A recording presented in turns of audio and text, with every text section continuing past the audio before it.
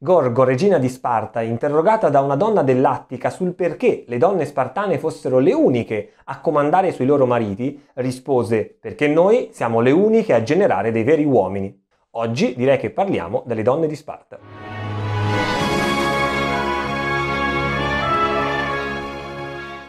Bentornati! Nel precedente video abbiamo visto l'educazione di uno Spartiata. Se ve lo siete perso, nessun problema, vi lascio il link qua sopra, quindi mi raccomando andatelo a recuperare. A differenza di quanto detto per l'uomo, le notizie relative alla condizione femminile sono molto più scarne e, ancora una volta, non direttamente di mano spartana. Ma nonostante ciò possiamo comunque ricreare quella che doveva essere la vita di una spartiata. In effetti anche stavolta andremo ad analizzare le figure femminili facenti parte dell'elite della città. Licurgo, il noto legislatore che aveva impostato la vita civile, politica e sociale della città di Sparta, aveva deciso che anche le spartane eh, dovessero sottoporsi a una rigida educazione, volta in primo luogo a rafforzare il fisico. Ed è così che le giovani spartiate dovevano quindi cimentarsi in tutta una serie di attività fisiche comprendenti diverse discipline. Plutarco, per esempio, ci ricorda che eh, le giovani dovevano allenarsi nella corsa e nella lotta, oltre che nel lancio del disco e del giavellotto. Sappiamo poi che veniva curata anche la preparazione intellettuale delle ragazze e quindi canto, poesia, danza, tutte attività che venivano raccolte sotto l'unico termine di musiche, cioè l'arte delle muse. Mediamente la loro istruzione era superiore a quella delle altre donne greche e soprattutto non comprendeva tutta una serie di attività che generalmente erano ritenute di ambito femminile, come la tessitura, in quanto i lavori più umili erano uh, delegati alla classe degli iloti, l'abbiamo visto nel precedente video. Proprio come Elena di Sparta, la donna più bella dell'antichità secondo la leggenda, anche le donne spartane erano note per la loro bellezza. Aristotele però le definisce lussuriose e smodate, pervase da un'audacia prettamente maschile e dedite al governo, e questa era un'opinione abbastanza diffusa, arrivando addirittura a definire le donne spartane con un appellativo, quello di mostracosce, poiché solite indossare per comodità una tunica corta durante le esibizioni ginniche.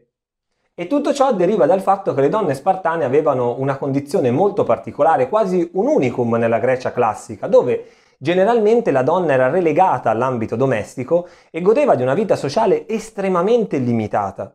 Le spartiate invece non solo erano istruite ed esonerate dalle attività domestiche, come abbiamo visto poco fa, ma erano addirittura tenute in grande considerazione all'interno della società spartana in quanto mogli e madri di soldati e le fonti ci tramandano l'immagine di madri estremamente severe e attente a quello che doveva essere l'onore e il coraggio dimostrato dai propri figli. Questo atteggiamento è proprio riassunto perfettamente nella frase torna con lo scudo o sopra di esso e fa riferimento al fatto che il figlio doveva tornare con il proprio scudo, quindi senza abbandonarlo in battaglia dimostrando così codardia, oppure morire coraggiosamente durante la battaglia stessa.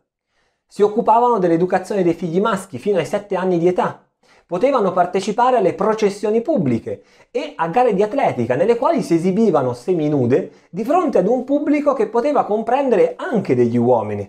Sappiamo persino di una donna, Cinisca, eh, che era la figlia del re Archidamo II, la quale partecipò alle Olimpiadi e vinse per ben due volte nelle gare dei, dei carri.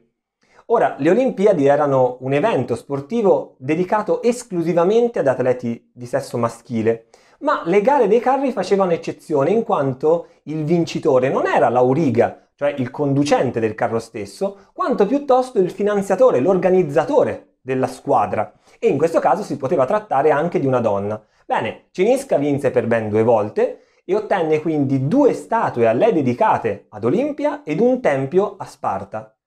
C'è poi da considerare che quando gli Spartiati partivano per la guerra, l'amministrazione la gestione dei beni familiari, compresi gli loti, eh, ricadeva interamente sulle donne. Le norme di Licurgo poi imponevano una forte limitazione nell'ostentazione della ricchezza, motivo per cui uomini e donne riducevano molto il lusso nei vestiti, ma la limitazione nell'indossare monili e ornamenti preziosi riguardava solo le donne nubili, mentre le mogli potevano indossare dei gioielli molto più liberamente. Già, le mogli, in effetti il matrimonio a Sparta è un argomento molto interessante da analizzare. Eh, a differenza delle altre polis greche, in cui le donne si sposavano molto giovani, intorno ai 15 anni se non addirittura prima, a Sparta l'età era fissata a 20 anni Si riteneva infatti che questo fosse il momento migliore per generare figli, in quanto la donna aveva raggiunto la piena maturità fisica. E questo era motivo, ancora una volta, di dicerie, giudizi e pregiudizi da parte degli altri greci. Sul rito matrimoniale le fonti non sono concordi. Ad esempio, eh, Plutarco ci racconta che veniva inscenata una sorta di rapimento e che gli sposi dovevano mantenere nascosta la loro relazione per un certo periodo di tempo. Il novello sposo infatti eh, doveva abbandonare nottetempo il banchetto al quale stava partecipando, recarsi in una stanza buia nella quale avrebbe trovato la sposa, vestita con un mantello e con dei calzari esattamente come quelli di un uomo e con il capo rasato a zero. In questo modo la donna assomigliava in tutto e per tutto a uno di quei giovani che partecipavano alla Goghe, come abbiamo visto in precedenza. Da altre fonti invece questo rito era precedente al matrimonio e i figli nati da queste relazioni che dovevano essere infeconde non erano riconosciuti come legittimi.